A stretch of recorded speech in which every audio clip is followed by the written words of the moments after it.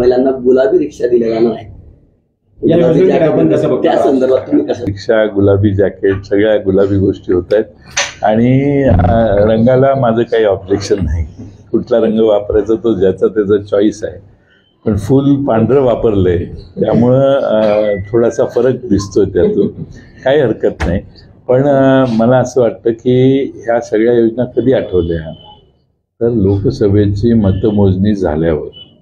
लोकसभेची मतमोजणी झाल्यावर आपला महाराष्ट्रात नक्की पराभव अटळ आहे. हे लक्षात आल्यावर सगळे लाडके झाले.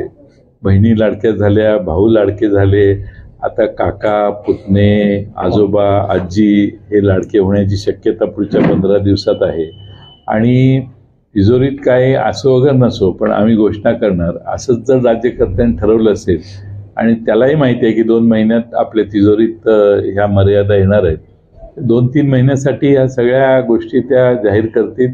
पण त्यांनी असं सांगण्याची गरज नाही की आम्ही परत सत्तेवर नाही आलो तर योजना बंद होतील. हा महाराष्ट्र हा फार सुसंस्कृत राज्य आहे. ज्या योजना कोणत्याही सरकार कोणाचे असो त्या योजना अधिक दुरुस्त करून अधिक वाढवून आम्ही पाहिलं तर मांडू. अशा लो योजना बंद करण्याचा प्रश्न उद्भवत नाही. पण आता भीती घालायला लागलेत राज्यकर्ते.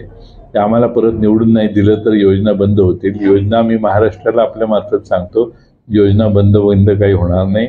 उलट त्यात सुधारणा करू आणि अधिक चांगली अशा सेवा महाराष्ट्रातल्या जनतेच्या आमच्या लाडक्या बहिणीच्या आम्ही देखील करू.